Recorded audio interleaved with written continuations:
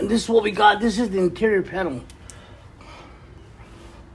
There's no stickers on the side, as you can see, but it's right in here.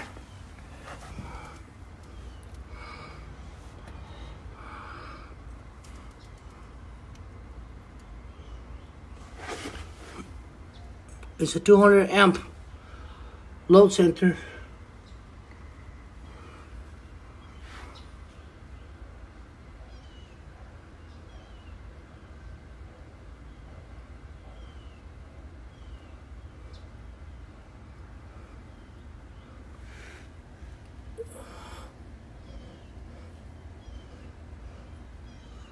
Everything's labeled, got a history in it.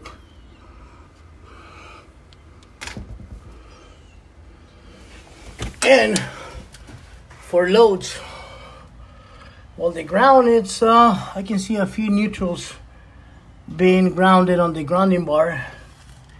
And all the neutrals are on the neutral side.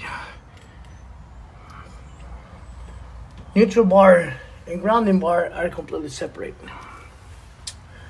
What do we have here? Well, we have on the left side, I got a 60 amp two pole, 30 amp two pole, 20 amp two pole.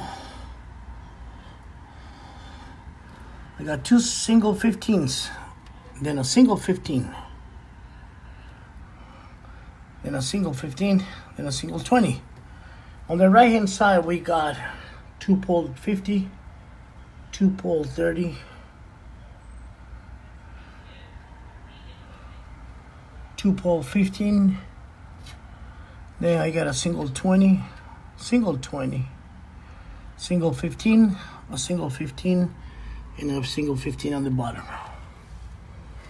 And they're all being used. This is the right hand side and this is the left hand side